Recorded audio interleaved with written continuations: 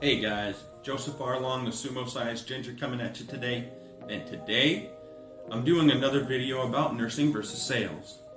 Be sure to hit the subscription button below if you'd like some weight loss advice, some inspiration, or you'd just like to keep an eye on my journey. I know, I just covered this subject last week, but there's so much that transfers over from nursing to sales that I just couldn't fit everything in.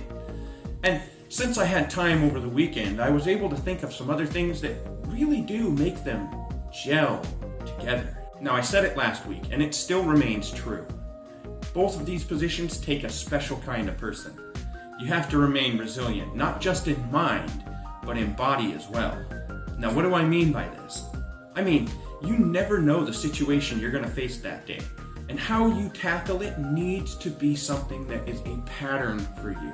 You need to be able to face adversity and rise above it rather than sink below it. This means when a challenge faces you, you don't run away from it, you run towards it.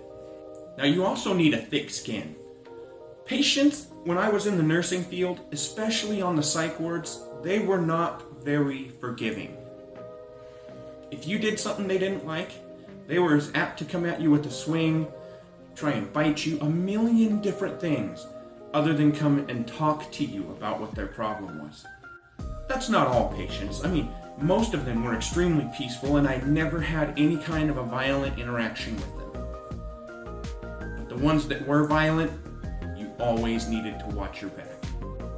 At least in sales, you don't have to worry about the customer coming through the phone and slapping you in the face. People are emotional, and they don't really understand how emotional they can be.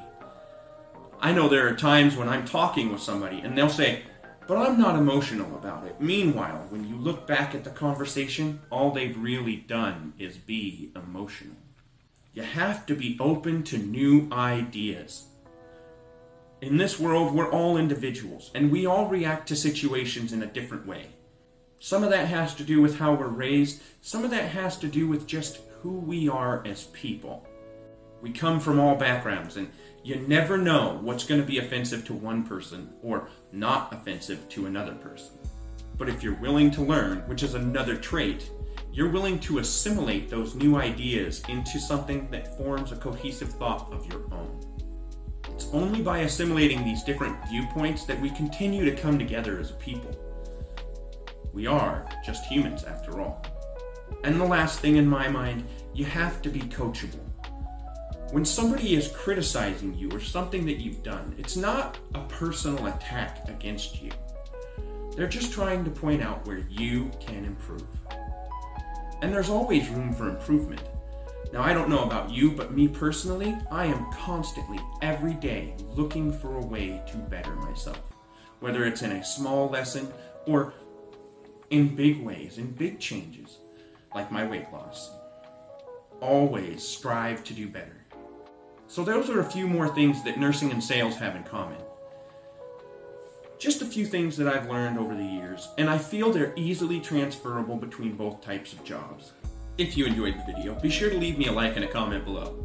And don't forget to hit the subscription button if you'd like some weight loss advice, some inspiration, or you just want to keep an eye on my journey.